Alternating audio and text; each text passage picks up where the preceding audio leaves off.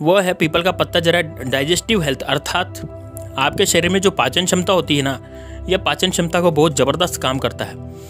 हृदय संबंधी रोग, अर्थात हार्ट अटैक वगैरह, या फिर आपके थक्का जम गया, उसमें भी काम करता है। दोस्तों, आज मैं आपको पीपल के पत्ते के ऐसे कुछ उपाय बताने जा रहा हूँ, जिससे कि आपको कोई भी संबंधी समस्या, यानी कोई भी आपको बीमारी है, जैसे कि आपको गैस हो गई है, कब्ज हो गई है, आपका रक्त गाढ़ा हो गया है, आपको हृदय संबंधी समस्या है बलगम आ रहा है, बहुत ज़्यादा खांसी आ रही है, या फिर आप अपने विषैले पदार्थ बाहर निकालना चाहते हैं। ऐसी बहुत सी संबंधी समस्याएँ जो होती हैं, वो रक्त संबंधी समस्याएँ भी होती है दोस्तों, पेट संबंधी समस्याएँ भी होती हैं, हृदय संबंधी और फेफड़े संबंधी समस्याएँ भी होती है। फेफड़े संबंधी समस्याओं में हमारे अंदर शरीर में बलगम जम जाता है, खांसी खूब हो जाती है और बाद में अस्थमा बन जाता है।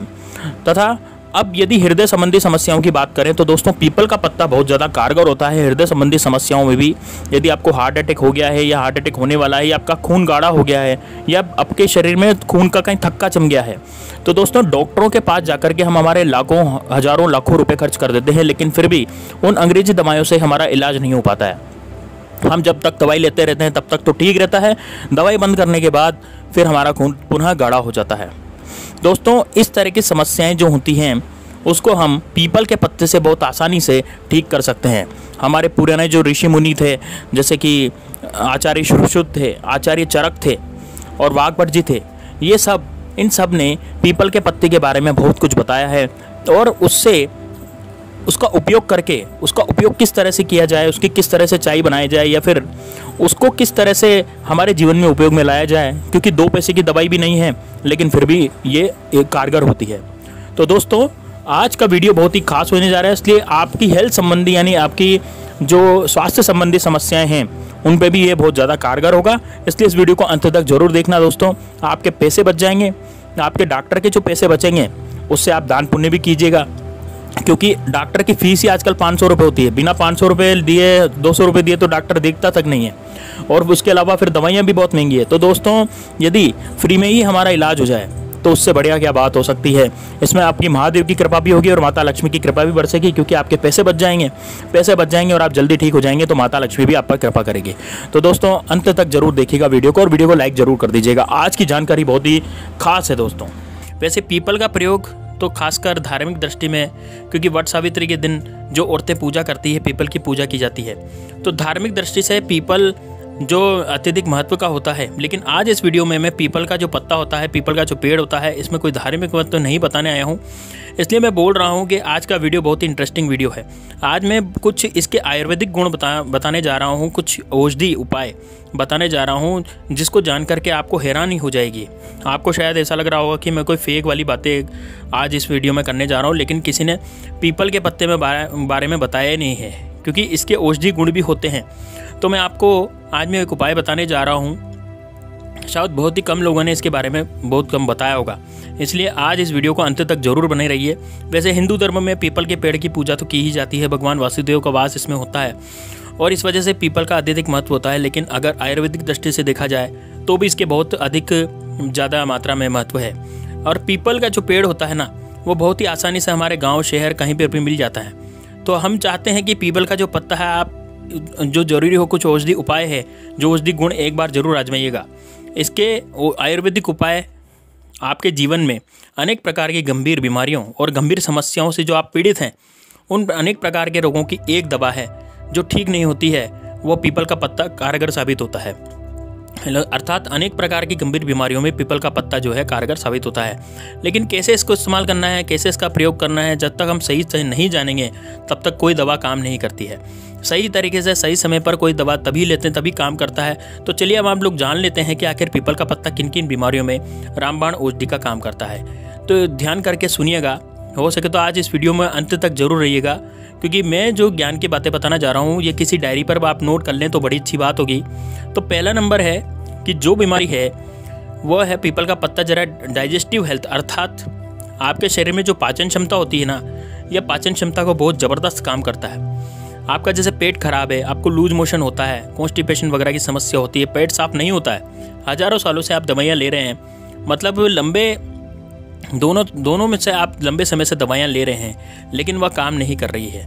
तो इसका आयुर्वेदिक में हज़ारों सालों से प्रयोग करते आ रहे हैं। लेकिन जो आजकल की नॉलेज धीरे धीरे लुप्त होती जा रही है, पुरानी नॉलेज है ना? तो लेकिन मैं आपको इस वीडियो के माध्यम से पीपल के पत्ते के कुछ ऐसे आयुर्वेदिक गुण बताने जा रहा हूँ, शायद आपको कहीं भी नहीं मिलेंगे। तो पीपल का पत्ता आपके घर के आगे ज़रूर होगा, आसपास खाद खेत खलियान में होगा, बाग बगीचे पर हो रहा रोड पर होगा। आप एक बार इस पत्ते को ज़रूर इस्तेमाल करिएगा। एकदम 100 परसेंट में 105 परसेंट गारंटी के साथ लिखित में दे देता हूँ कि कई सारे रोग जो हैं वो खत्म हो जाएँगे। तो पहले आपका अपच और डायबिटीज़ डाइजेस्टिव सिस्टम जो अपच जो आप भोजन खाते हैं वो पचता नहीं है। गैस बनता है, खाना खाते हैं और सुबह भोजन खा लेते हैं। शाम को कहते हैं भूख नहीं लग रही। मतलब आपके भोजन क्या हुआ कि वो आपके भोजन का पाचन ही नहीं हुआ। अर्थात आपका भोजन यदि पच नहीं रहा है तो वो आपको भूख कैसे लगेगी? तो ऐसे कई प्रकार की समस्या होती है। जब पेट साफ़ नहीं होता है तो कॉन्स्टिपेशन की शिकायत हो जाती है, यानी कब्ज बनना शुरू हो जाती है। और सारा जो है, सारी बीमारी जो है पेट से होती है।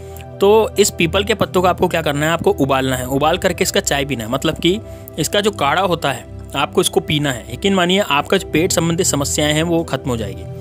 दूसरा जो बीमारी है, वो ज़बरदस्त काम करता है, वह है दिल संबंधित बीमारी के लिए। जैसे दिल की जो बीमारी होती है कभी कभी कोलेस्ट्रॉल बढ़ जाता है, यानी ब्लड प्रेशर बढ़ जाता है। तो ब्लड प्रेशर में ब्लॉकेज भी कभी कभी होते हैं, थक्का बनना हो जाता है, हमारे शरीर में थक्का बनना शुरू हो जाता है। अगर कुछ ऐसी समस्या है तो आपका शरीर में है तो रक्त संबंधी समस्या है। तो रक्त संबंधी तार रक्त गाढ़ा हो जाता है है ना? तो वैसे जो है, रक्त क्या करता है, ये रक्त को क्या करता है सर्कुलेट करता है, रक्त को पंप करता है। तो बस आप यदि इसके पीपल के पत्ते वाली चाय अगर पी लेते हैं तो हार्ट वाली कोई भी संबंधित समस्या है, चाहे वो ब्लड प्रेशर को हो, चाहे वो कोलेस्ट्रॉल बढ़ा हुआ हो, चाहे ब्लॉकेज हो, है ना? चाहे थक्का बन रहा हो कुछ भी हो, ज़बरदस्त तरीके से काम करता है। ऐसी समस्या रहती है, बस पीपल का पत्ते की आपको क्या करनी है, चाय पीनी है। डायबिटीज़ वालों के लिए भी बहुत ज़बरदस्त काम करता है, क्योंकि इस पीपल के पत्ते में हाइपोग्लाइसेमिक पाया जाता है और जो इसे कंट्रोल करता है, बिना किसी प्रकार के नुकसान के। यदि आपको कोई बीमारी है और आप इसे लेते हैं तो आप लिमिट में लेंगे तो आपको ये फ़ायदा करेगा। कोई भी आयुर्वेदिक दवा नुकसान नहीं करती, लेकिन उसका लिमिट होना ज़रूरी है कि आपको कितना लेना है, कैसे लेना है उस चीज़ में मैं आगे डिस्कस करूँगा, लेकिन पीपल का जो चाय है, वो चाय बनाना है। ठीक है? आपको पीपल के पत्ते की चाय बनाना है। तीसरा नंबर की जो बीमारी है, यह है अस्थमा।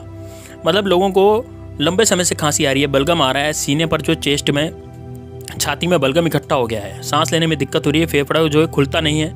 फेफड़े को पूरा ओपन तरीके से नहीं खुलता है, फेफड़े का साइज़ बढ़ाना चाहते हैं। तो कुछ अगर आपको किस तरह की कुछ बीमारी है कोई और बरसों से ही बीमारी चल रही है तो आप पीपल के पत्ते की जो है चाय लेना शुरू कर दीजिए। आपका जो है, जो जितनी भी सांस से संबंधित बीमारी है, फेफड़े से संबंधित बीमारी है, आपका जो फेफड़ा अच्छे से पंप करने लगेगा, अच्छे से फूलना, पिचकना शुरू हो जाएगा, और फेफड़ों की कभी भी कैपेसिटी आपकी घटेगी नहीं। अर्थात जिस वजह से जो लोग होते हैं, जैसे जल्दी जल्दी चलते हैं, उनकी सांस फूल जाती है है ना? अगर आप पीपल के पत्ते का सेवन करने हैं तो यकीन मानिए आप फेफड़े से संबंधित जो है सारी समस्याएँ जो है आपकी ठीक हो जाएगी। चौथे नंबर की जो प्रॉब्लम होती है, वो बॉडी को डिटॉक्स करता है। डिटॉक्स का मतलब होता है हमारी बॉडी में कुछ ऐसी चीज़ होती है, सब तरह की चीज़ें, जैसे बुरी चीज़ जो होती है, वो होती है। मतलब अच्छी चीज़ भी होती है, बुरी चीज़ भी होती है अच्छी चीज़ तो हमारी बॉडी को फ़ायदा करती है, लेकिन जो बुरी चीज़ होती है, वो हमारी बॉडी को बहुत ज़्यादा नुकसान पहुँचाती है। यानी हानिकारक पदार्थ जो है हमारे शरीर से निकलते नहीं है। तो डिटॉक्स करने का मतलब है पीपल के पत्ते की यदि आप चाय पियेंगे तो आपके शरीर से वो जो गंदे और हानिकारक पदार्थ हैं, जो जहरीले पदार्थ हैं, वो पीपल का पत्ता निकालने की कोशिश करता है। पीपल के पत्ते की चाय से वो निकल जाते हैं।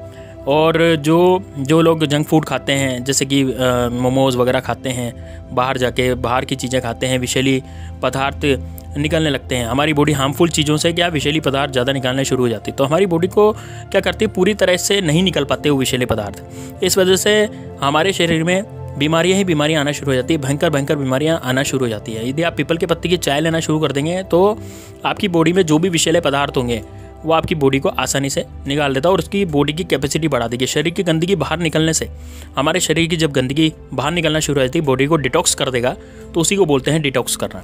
मतलब हमारी डिटॉक्स का मतलब होता है, हमारी बॉडी से शरीर की गंदगी खुद ब खुद बाहर निकलना शुरू हो जाती है। इसे बोलते हैं डिटॉक्स करना, अर्थात शरीर की जो गंदगी है, चाहे वो जंक फ़ूड खाने से हुई है, चाहे तंबाकू से हुई है, चाहे किसी भी गंदी चीज़ से हुई है, वो विषैले पदार्थ हमारी बॉडी से निकलना शुरू हो जाते हैं और हमारी बॉडी को डिटॉक्स करने के बाद हमारी कैपेसिटी बढ़ जाती है। अगर का पीपल का पत्ता पत्ता, अगर किसी बच्चे को यदि सेवन करा लिया जाए तो उसकी मेमोरी कैपेसिटी या माइंड बूस्टर का काम करता है। जैसे कोई बच्चा है, पढ़ने में उसकी दिमाग की क्षमता कम है तो आप पानी में उबाल करके बस किसी बच्चे को, अगर ऐसा लगता है कि उस बच्चे का पढ़ने में मन नहीं लगता, वो कमज़ोर है, उसे कुछ याद नहीं रहता तो बहुत ही जल्दी भूल जाता है। तो वो मन को बूस्ट करने का काम भी करता है, मानसिकता को बूस्ट करने का काम करता है, मस्तिष्क को बूस्ट करने का काम करता है। तो एक पीपल का पत्ता जो हमारे घर में बड़ी आसानी से उपलब्ध हो जाता है, दो मोटा सा, बड़ा सा पेड़ खड़ा रहता है, उसका शायद आयुर्वेदिक उपाय आपको किसी ने नहीं बताया होगा। हमेशा उसके जाकर, नीचे जाकर जल चढ़ाएँ, पूजा की है, परिक्रमा की है, लेकिन आयुर्वेदिक उपाय आप इसके नहीं जानते हैं। तो मैं जो उपाय बताने जा रहा हूँ, यह हवा हवाई फेंकने वाली बात नहीं है दोस्तों। यह मुझे एक बुक मिला है और उस बुक से मुझे क्या ज़बरदस्त का ज्ञान मिला है और वो मैं आपको तुरंत इस वीडियो के माध्यम से शेयर कर रहा हूँ। तो पीपल के पत्ते के बारे में और साथ ही साथ, यह किसी तरह का जो है, जिसी किसी की किडनी काम नहीं कर रही, किसी की किडनी सही से काम नहीं कर रही है। उस प्रकार के व्यक्ति कितनी किडनी संबंधी अगर कोई बीमारी हुई है अर्थात किडनी यदि ख़राब हो गई है आपकी तो पीपल के पत्ते की चाय ज़रूर पीना। हंड्रेड परसेंट जो है, आपकी किडनी जो है सही से कार्य करना शुरू कर देगी। कुछ ऐसी अनेक प्रकार की बीमारियाँ जो पीपल के पत्ते से करनी चाहिए। पीपल के पत्ते से लोग ठीक हो जाते हैं। पीपल के पत्ते में बहुत सारे ऐसे गुड़ पाए जाते हैं। यदि आप इसे सही तरीके से सेवन कर लेते हैं तो आपकी बॉडी में कभी भी नुकसान नहीं होता, बल्कि फ़ायदे ही फ़ायदे होते हैं। आयुर्वेद में तो यही होता है, अगर आप कोई भी चीज़ ले भी लेते हैं तो अगर वह फ़ायदा नहीं करता तो नुकसान भी नहीं करता। बस उसको लिमिट में लेना होता है और किस तरह से लेना होता है, ये आपको जानना चाहिए। अब मैं आपको बताने जा रहा हूँ, आखिर में कि पीपल के पत्ते की चाय कैसे बनानी है। तो इसमें आपको क्या करना है, पीपल के पत्ते की चाय देखने के लिए आपको क्या करना है, पाँच से छः पत्तियाँ लेनी है पीपल की, जो कि हरी हरी पत्तियाँ होती है। पाँच से छः पत्तियाँ आप ले लीजिए और दो कप पानी में डाल लीजिए अब तीन, आप दो कप भी डाल सकते हैं, तीन कप भी डाल सकते हैं, लेकिन पाँच से छः पत्ती ही आपको ले लेनी है। है ना? दो कप पानी डालने के बाद आपको क्या करना है, अच्छे से उबालना है। और इतना उबालना है कि जब वो दो कप पानी एक कप हो जाए, अर्थात उसको उबालते जाएँ उबालते जाएँ पाँच से छः पत्तियों को तो क्या करें जब दो कप पानी में आपने उबालना शुरू किया था तो एक कप पानी रह जाए। उसके बाद उसको छान लें और छानने के बाद जब एक कप बचता है तो उसे उस कप को आपको दो बार पीना है। यानी दो, दो दिनों में पीना आप इसको फ्रिज में रख दीजिए है ना? जैसे आप किस तरह से पीना दो दिन में? जैसे आपने एक एक कप दो कप पानी डाल करके पाँच छः पत्तियाँ उबाली और पाँच छः पत्तियाँ उबाल करके उसका एक कप पानी रह गया। अब एक कप पानी को आपको दो दिन पीना है। आधा कप एक दिन पीना है और अगला आधा कप दूसरे दिन पीना है। ठीक है? और ऐसे नहीं बिना जैसे बिल्कुल ठंडा हो जाए, हल्का हल्का सा गर्म रहे तो उस स्थिति में आए, तब आप इसको दो बार पी सकते हैं। है ना? आप चाहे तो एक ही कप बनाएँ, आप चाहे तो रोज ही रोज ही बनाएँ इसको, और रोज ही एक कप पी सकते हैं। रोज ही मतलब आधा कप पी सकते हैं। है ना? तो उबाल करके आप इसको पी सकते हैं। लेकिन ज़्यादा नहीं, कुछ लोग ऐसा करते हैं कि बहुत ज़्यादा दिक्कत है तो दस दस बीस पत्ती का सेवन दिन में एक बार में कर लेते हैं, जो कि ऐसी गलती बिल्कुल नहीं कीजिएगा, लिमिट में आप दवा लेनी है कोई भी दवा थोड़ी ही ली जाती है। और पीपत्ते, पीपल के पत्ते को हल्के में मत लीजिएगा, है ना? यह यह तो जानवर एक दिन में इतना खा लेता है कि तुमको कुछ पता ही नहीं लगता। कि आप जानवर नहीं है, जानवर की तरह मत खाइए। जो कैपेसिटी होती है, उस कैपेसिटी के हिसाब से हमें खानी है। तो चार, तीन, चार पत्ते जो है आपको एक दिन में पीना है है ना? तो आप जैसे डायबिटीज़ है, कि उनके लिए बहुत ज़बरदस्त काम करता है, आप डायबिटीज़ वाले हैं है ना? तो आप क्या पीपल का पत्ता का जो आपने काढ़ा बनाया है, उसमें एक चम्मच शहद में मिलाकर आप पीजिए। खाली सुबह सुबह सुबह पी लेते हैं। ठीक है? डायबिटीज़ वालों के लिए बिना उसके पीजिए। जैसे आप डायबिटीज़ पेशेंट हैं तो आप इसको डायरेक्ट पी सकते हैं। और जिनको डायबिटीज़ नहीं है, वो एक चम्मच शहद मिलाकर के इसमें आप सुबह खाली पेट ले सकते हैं। बहुत ही ज़बरदस्त काम करता है, लेकिन डायबिटीज़ वाले पेशेंट को आपको शहद नहीं मिलाना है, क्योंकि शुगर कंट्रोलर का काम करता है ना तो आपको तो वैसे ही शुगर है तो इसलिए आप डायरेक्ट ले लीजिए, इसमें शहद मत मिलाइए। लेकिन जिनको डायबिटीज़ नहीं है, वो शहद मिला सकते हैं और इसका अच्छे से अच्छा सेवन कर सकते हैं। लेकिन आज आप यदि इसकी ओवरडोज ले लेते हैं तो आपको रिएक्शन कर सकता है, ठीक है? तो कोई भी दवा हो, जैसे अंग्रेज़ी दवा आयुर्वेदिक, दोनों रिएक्शन तो करते हैं, लेकिन काम भी करते हैं, है ना? लेकिन क्या करें कि आप इसको लिमिट में लें, है ना? आप जितना इसको लिमिट में लेंगे, उतना ही ज़्यादा आपका फ़ायदा रहेगा, है ना? अब रिएक्शन क्या होता है इससे? कि जैसे आप इसको ओवरडेज ले लेते हैं तो कभी कभी आपको खुजली लेने लगती है कभी कभी शरीर में दाने पड़ जाते हैं ना? आपका शरीर फूल सकता है, स्वेलिंग आ सकती है। तो अलग अलग प्रकार की जो समस्या है, वो शुरू ना हो जाती है। इसलिए इसको ओवरडेज नहीं लेना चाहिए, लिमिट में लें। आपको तीन से चार पत्ते जो है, आप इसको लेने हैं, ताकि आपको रिएक्शन नहीं करे, और शुरुआत में दो दो पत्ते से स्टार्ट करें।